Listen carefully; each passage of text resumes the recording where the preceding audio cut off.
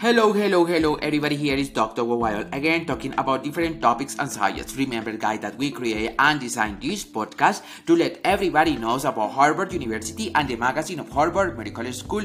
You can also visit our official website, which is magazine.hms.harvard.edu. You will be able to browse thousands of thousands of articles by issue and by topic. You will be asking Dr. Wild which topics, research, community, education, care delivery, hours, and achievement. The article to review today is Where Law and Medicine Meet.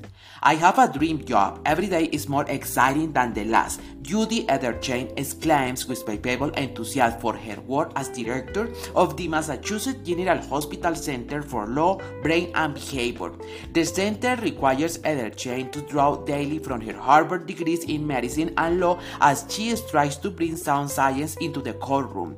Edersheim knows that when she began her career, her path was not very usual, nor was particularly planned. With her law school experience was fascinating and mind-blowing as Edersheim began working in corporate and real estate law. She realized that something was missing. She work didn't have enough stories. I didn't have enough immediacy and imitates.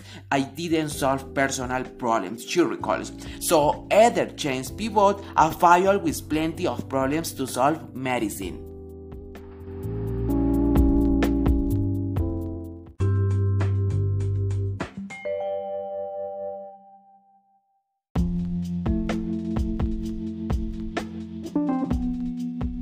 Alright guys, we continue doing the review of this article. This article has been brought by Catherine Caruso. She is a science writer at the Harvard Medical School Office of Communications and External Relations.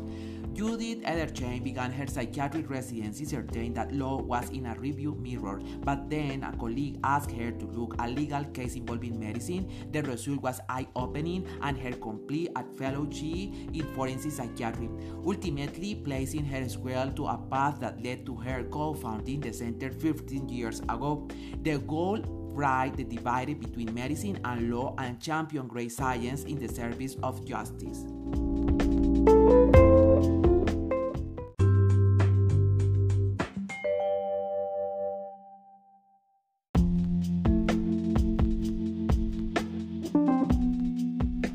The center began by responding to incorrect neuroscience in legal settings, but now actively promote acute neuroscience in that these informing areas, the aging brain, sentencing reform juvenile and emerging adult justice and trauma and the law. In practice, this involves teaching lawyers, judges, and others in the legal system about the science of mental illness, substance use disorder, memory, trauma, and developing an aging brain. In addition, Edersheim and her colleagues offer judges scientific expertise by feeling amicus and a friend of the court. Briefs of the brain related topics in landmark legal cases. These have been writing briefs explaining why the science of memory makes single eyewitness identification inaccurate, how the brain of adolescents and emerging adults differ from the adult brain, how the isolation of solitary confinement has lasting neurologic effects, and how trauma affects the brain in people seeking asylum.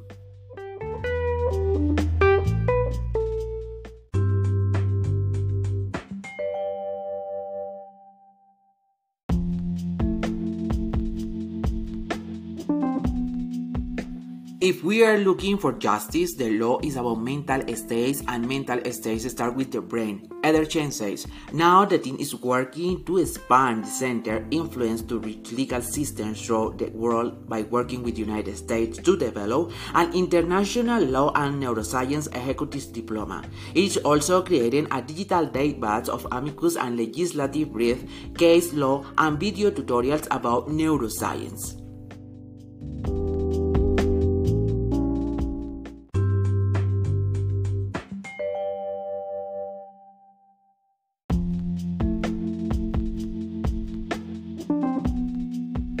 Even at her ambitions for the center role, Edersheim remained focused on the little things. It's knowing that we change a life, that we manage to help an innocent person be released, prevent someone from losing the next egg, and gave a justice system the science to believe in the redemption of a young person. Those victories keep me going. Alright, guys, remember you can download this beautiful article Where Law and Medicine Meet from the magazine of Harvard Medical School. This article has been wrote, remember, from Catherine Caruso. She's a science writer at Harvard Medical School Office of Communications and External Relations. See you time. Bye bye.